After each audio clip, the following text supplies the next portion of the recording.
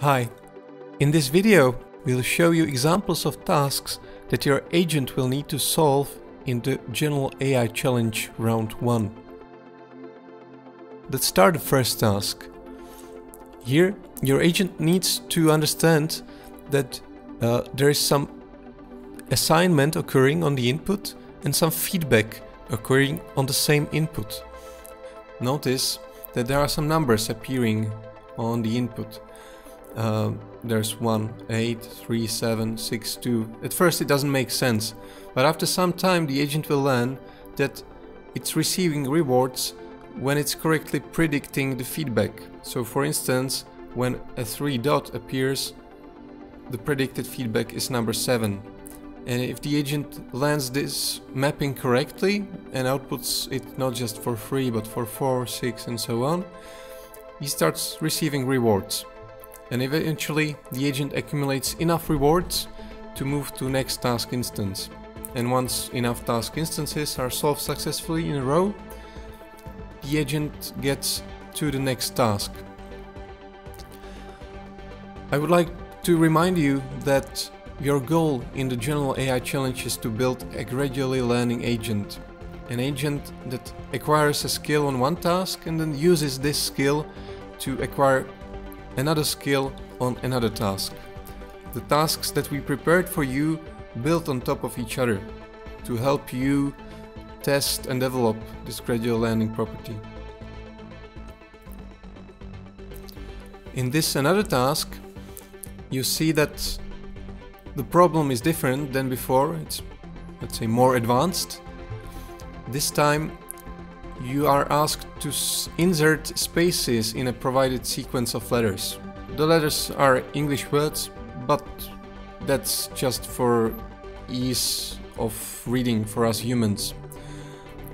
It's easier to explain the task to a human also if it's just English strings. So uh, this task already expects that the agent is able to receive feedback on the input, that it's able to interpret the feedback on the input. And uh, that's why uh, you should notice that there's those uh, messages like wrong or good and then the correct uh, output that the agent should have output.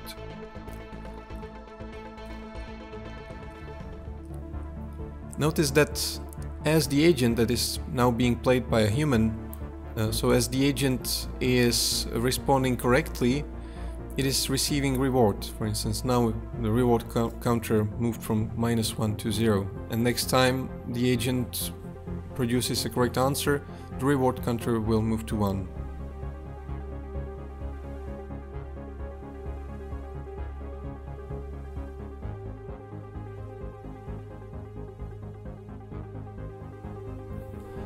This is the last task that we'll show you.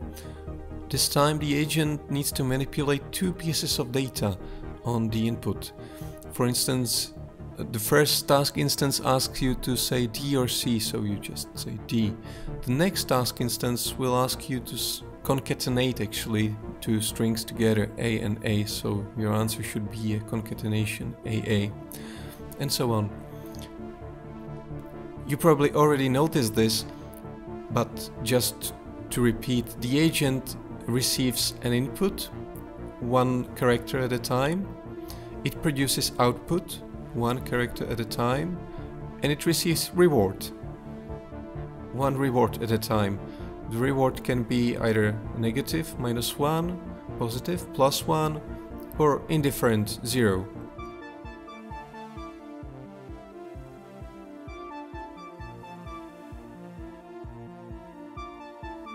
There's also a different kind of interface where you will see the rewards or the history of rewards visualized beneath input and output.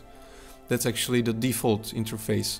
To get the interface that we are showing in these videos, you need to run your agent with parameter uh, dash dash curses because it uses a curses library. That's it. Uh, these three tasks were just a brief glimpse. Check out the complete set of challenge tasks at the main website. There are around 40 of them for your agent to solve, and we are very much looking forward to your solutions. Thanks for watching.